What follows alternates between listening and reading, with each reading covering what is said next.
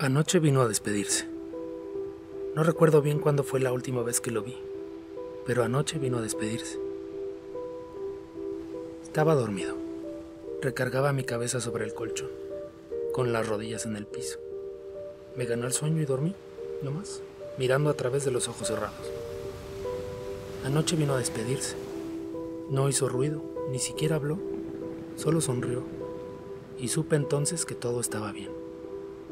Mis pulmones se llenaron de aire en ese momento, del mismo aire que él respiraba, y seguí soñando. Con esa sonrisa me dijo todo, la sonrisa de siempre, la inigualable, la que remarcaba sus arrugas, las de tantos años. Se dibujó un atardecer en sus ojos. Yo creía volar y sonreía también, después de mucho tiempo.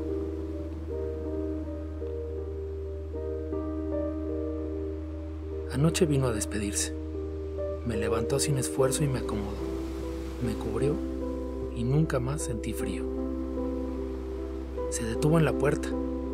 Percibía su figura en el claroscuro de la habitación, perfecta, intacta, con sus fantasmas alrededor, con su aroma de tabaco dulce, con sus pantalones bien planchados y con el bolsillo de la camisa lleno de corazones inflamados.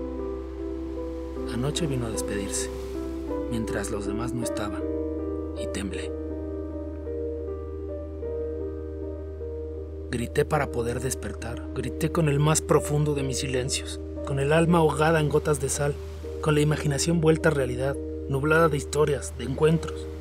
Se acercó de nuevo, me abrazó con todas sus fuerzas y sonrió otra vez. Inolvidable, pero fugaz.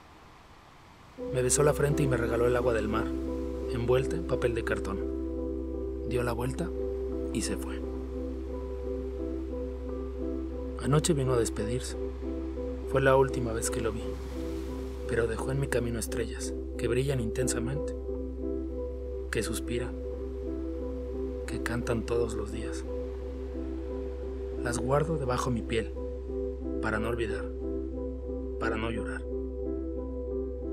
para no despertar en la soledad, nunca más.